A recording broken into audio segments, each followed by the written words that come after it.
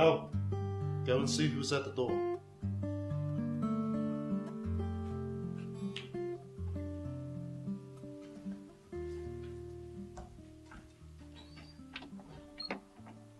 Hi there, I'm Rosie Kane. I'm from the Streetwise Youth Project. Are you Finau? Are your parents home?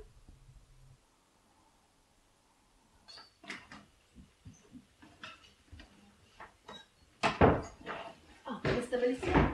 Yes, yes. Mrs. Melissa. I'm Rosie Kane. I'm from the Streetwise Youth Project. Yes, yes, please. Come and sit down. Thank you.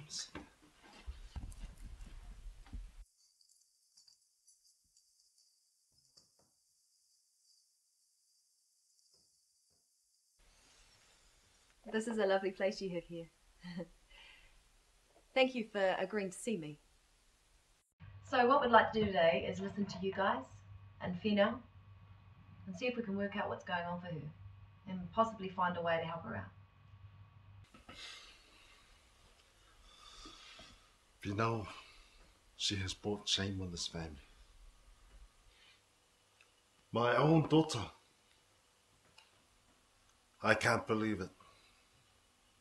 Staying away from school, stealing lollies from a shop. What will she do next? Her mother is so worried. She can't sleep at night. So, this is how you want to treat your family, huh, Finau? We've been working hard, trying to make sure you get the best education. What do you do?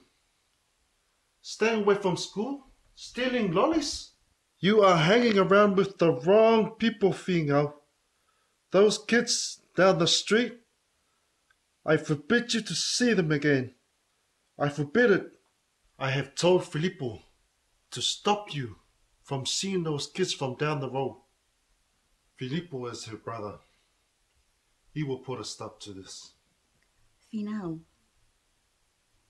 you know, I have asked you again and again. Finau, please stop hanging around with those kids from down the street. They're a bad influence. Do you see? You see what you are doing to your mother? You are breaking her heart.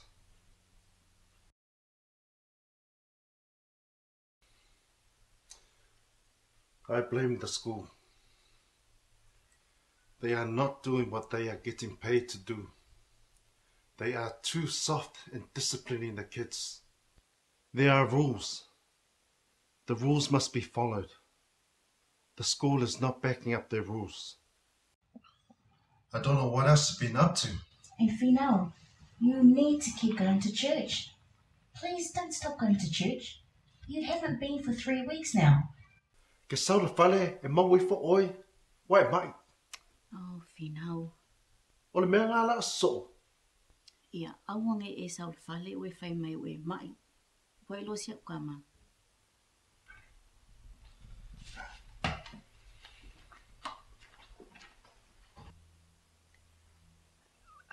Look, I can appreciate this is a very stressful time for the whole family, and you know, you're obviously really worried about Finau.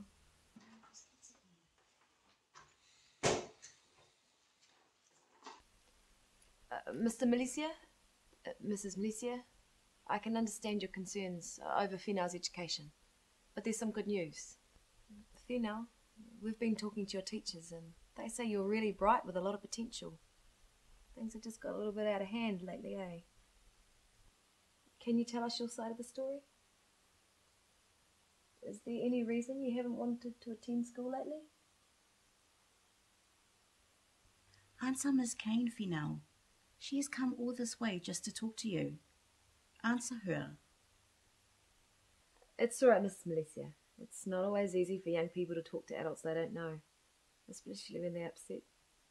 It would really help me now if we knew a little bit about the things that you enjoy at school.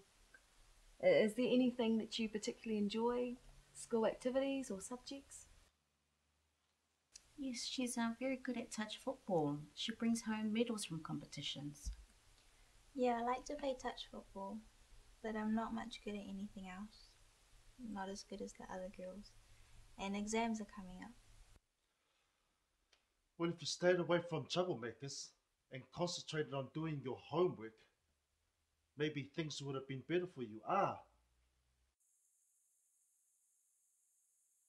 If everyone agrees, then perhaps we can meet Finau tomorrow at the youth project. How does that sound? if it would get her back to school and away from those troublemakers. Look, we can't promise anything, Mr. Milicia, except for to find a positive way forward for Finau and the family. What do you reckon, Finau? Do you think you'd be willing to meet us at the youth project tomorrow? well, thank you, Mr. Milicia. Thank you, Mrs. Milicia. I'm sure if Finau's willing, and with the support of her family, we can help to get her back to school.